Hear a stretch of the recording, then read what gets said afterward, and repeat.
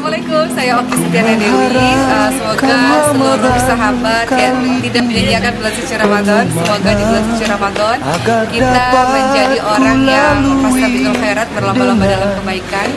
Kita punya target-target untuk bisa menghatamkan Al-Quran misalnya dan ibadah-ibadah lain.